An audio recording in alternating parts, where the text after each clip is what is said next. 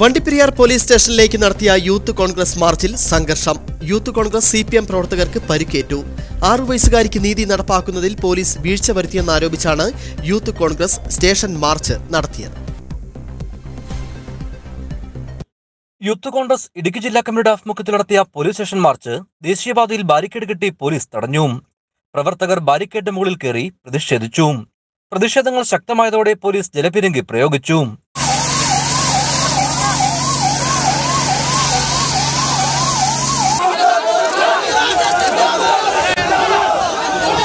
പ്രതിഷേധ യോഗം യൂത്ത് കോൺഗ്രസ് സംസ്ഥാന അധ്യക്ഷൻ രാഹുൽ മങ്കൂട്ടത്തിൽ ഉദ്ഘാടനം ചെയ്തു.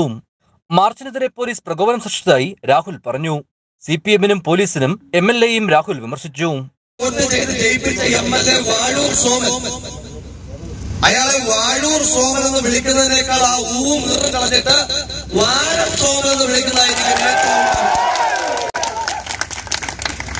ഇതുപോലൊരു മുതുവാഴ. ഈ നാട്ടിൽ അതിക്രൂരമായി പീഡിപ്പിക്കപ്പെട്ട ഒരു പെൺകുട്ടി കൊലപ്പെടുമ്പോ ആ പെൺകുട്ടിയുടെ പോസ്റ്റ്മോർട്ടം നടത്തണ്ട എന്ന് ഈ നാടിന്റെ എം എൽ എ പറയുകയും അതിനുവേണ്ടി നടത്തിയ ഇടപെടലുകളെ പറ്റി നമുക്ക് നല്ല ബോധ്യമുണ്ട്. അപ്പൊ എം എൽ എയിൽ തുടങ്ങുന്നതാണ് ഈ കേസ് അട്ടിമറിക്കാനായിട്ടുള്ള ശ്രമങ്ങൾ.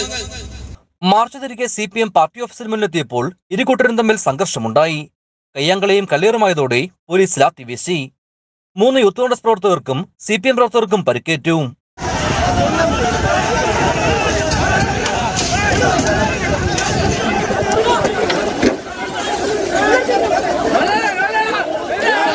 തുടർന്ന് ഇരുകൂട്ടരും ടൗണിൽ പ്രകടനം നടത്തി.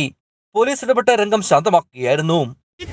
നേതാക്കൾ അല്ലെങ്കിൽ സി പി എമ്മിന് ഭരണമില്ലെങ്കിലും ഞങ്ങൾ ഇതുപോലുള്ള ഈ രാഷ്ട്രീയ ഇടപെടൽ നടത്തും. നിന്നെയെല്ലാം അന്നും കാണേണ്ടി വരും.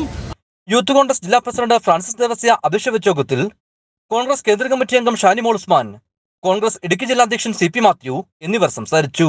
ഇടുക്കി വിഷൻ കുമളി.